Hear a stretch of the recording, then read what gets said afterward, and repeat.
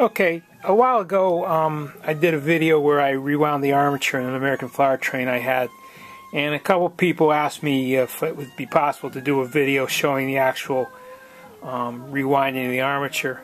So uh, what I'm going to do today is uh, I want to I want to rewind this armature anyhow, so I'm going to try and give you a little uh, idea of how I do it. It's, it's pretty easy and uh, um, although the, the, little fixture I made up, I, I use some uh, machining tools. Uh, it could be duplicated out of wood, quite honestly, and uh, it wouldn't be that hard to do if you uh, if you wanted to try and duplicate it. I got a uh, I got a mount here for the uh, the magnet wire I need, and on each side I have some rubber O-rings that provide tension to this, which makes makes winding winding the armature a lot easier. And uh, way this thing works is, I showed this before. This this is just a hand crank like this. Um, the armature just uh, there's a screw here and, and screw here, and this has a slot in it, and same thing on the other side. So those uh, those support bars are adjustable up and down. There's a there's a hole there's a hole right here that the uh, shafts of the armature fits in. And this piece here slides up and down. What that does is it it uh, bears up against the side of the laminations, and it it, uh, it holds the armature steady. And you know, if you take it out, it'll, it'll, wobble. So that that bears up against that. So you adjust that to whatever size your armature is, and you lock it in position. So uh, this particular armature. Um, I was I was uh, fooling around with different uh, different wire diameters and, and whatnot to see the effects uh, in the same motor. And so what I have here, the original uh, the original armature was wound with uh, 28 gauge, uh, as near as I can tell, 28 gauge wire. And this is this was 30 or 32, I forget. It's thinner, thinner wire and although it worked, um, it tended not to work great. Uh, it was okay, only okay. So uh, what I've done, I've got it. I got a spool of the proper gauge magnet wire, so I'm going to rewind this uh, armature and just have it as a spare. So uh, I'll show you how I do that. Now, from the, uh, I actually did another armature that's running ready, but um, I know from that that the, there's 60 turns of uh, magnet wire on each uh, each segment of this armature, each pole of the armature. And uh, what you want to do, um, if you ever go to do this, is take your original armature, if possible, and determine the uh, the resistance of each uh, each pole. And what you want to do there is isolate the pole and measure from each end of the uh, magnet wire, and it, will probably be, be somewhere between 1 and 2 ohms. Um, anything less than a 1 ohm resistance is pretty much a 6 volt motor, and uh, from 1 to 2 ohms is, is uh, generally a 12 volt motor. Now it's it matters what the uh, it matters how the field is wound and whatnot as to what the actual design of the armature would be, but uh, you don't want to reinvent the wheel. So measure measure your uh, resistance on each each pole of the armature first, and then um, make sure you're somewhat pretty close to that. You don't have to be dead on, but you have to be pretty close. You know, I mean, you can't end up with 0.5 ohms if that's what you, uh, you know, and if you started out with a one and a half ohm uh, armature winding. So uh, after you wind it, uh, measure it, and, and you should be somewhere in that neighborhood. Okay.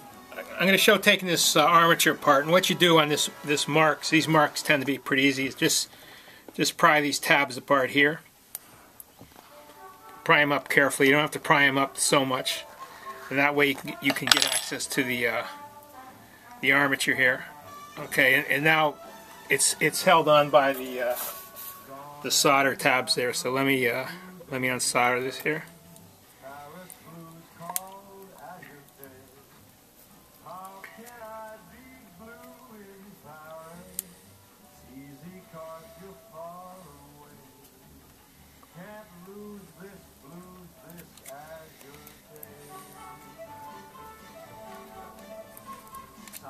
Dark tables filled with people, always happy, always gay. And one more.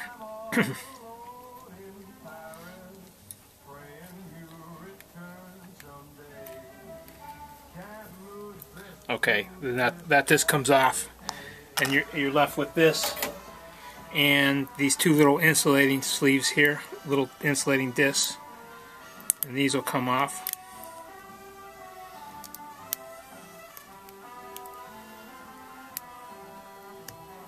Sure they will.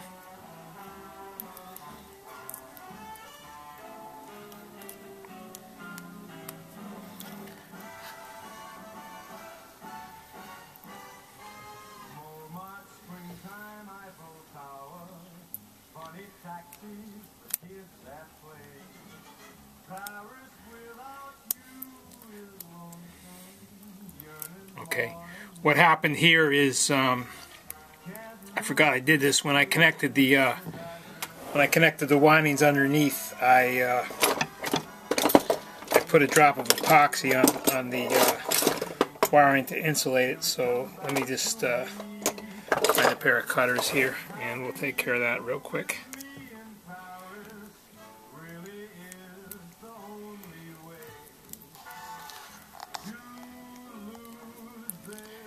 Okay.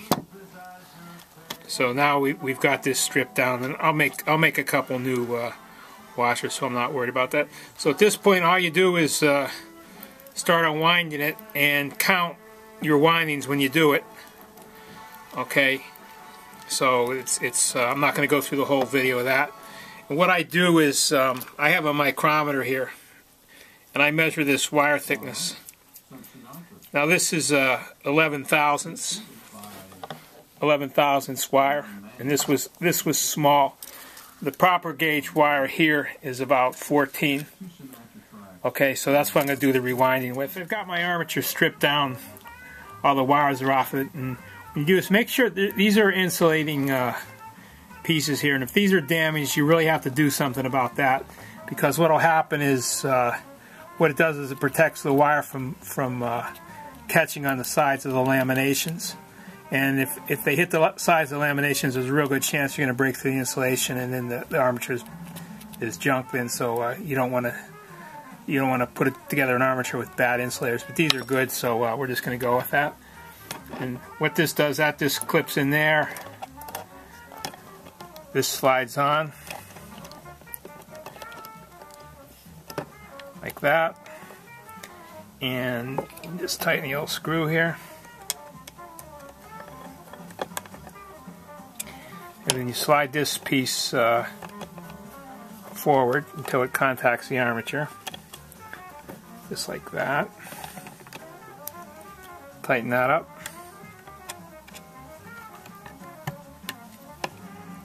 And that's locked nice and solid.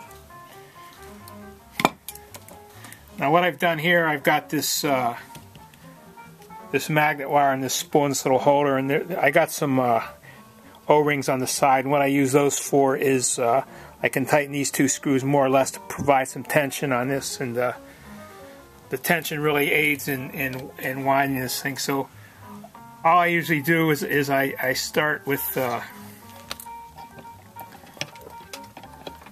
this is this is the top surface of the uh, where the commutator goes. So I on these I start on the bottom here, and I just take the, wrap of wire and nothing uh, nothing high-tech about this. I just wrap it around a few times. Now, this armature here originally had 60 turns on it, so that's exactly what I'm going to put back on it. So, what you do is you start the wire like this, and it's it's uh, it's no rocket science. You just start counting your turns.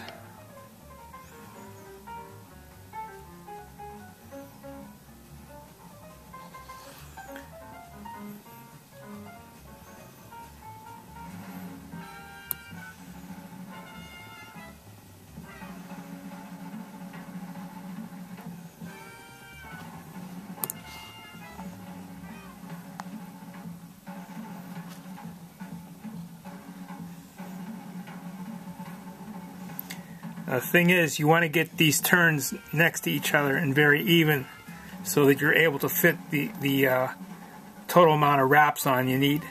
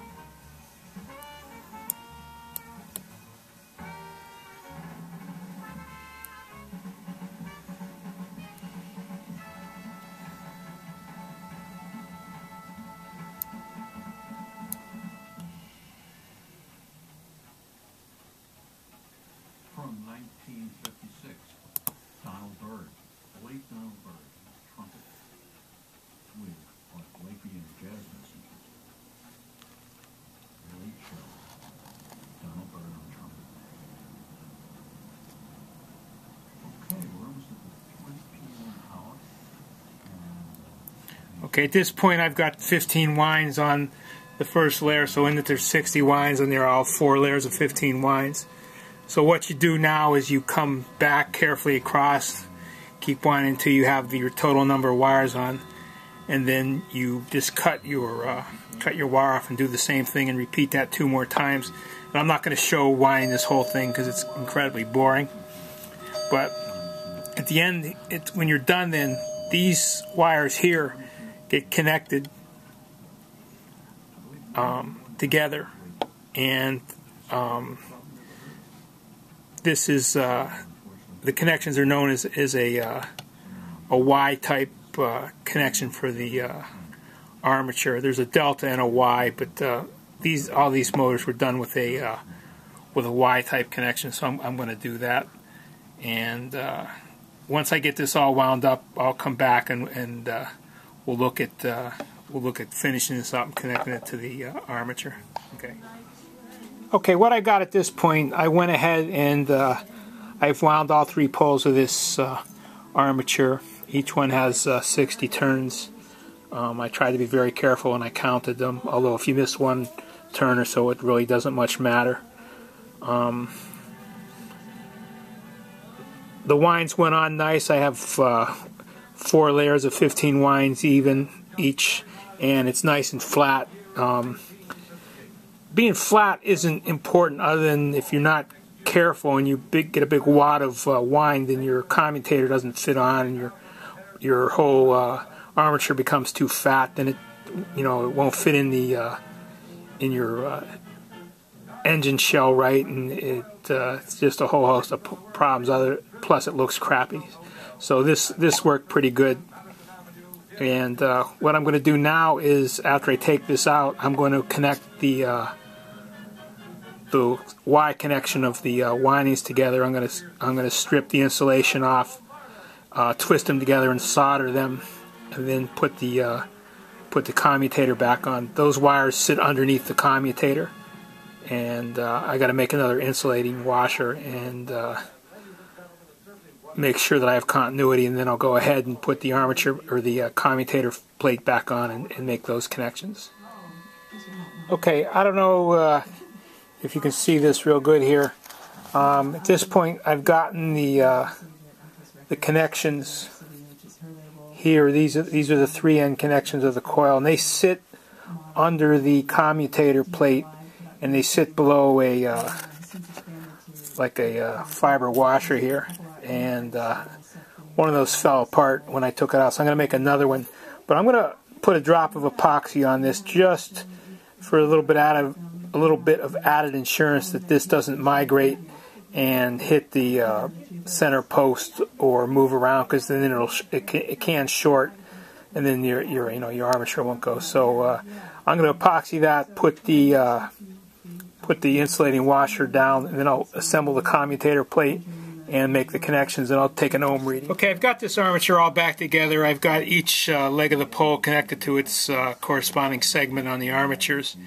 And uh, I've got my ohm meter set up now. What I'm going to do is I'm going to show you the resistance of each portion of the commutator. So we'll go from here to here, which I'm getting 1.14 ohms.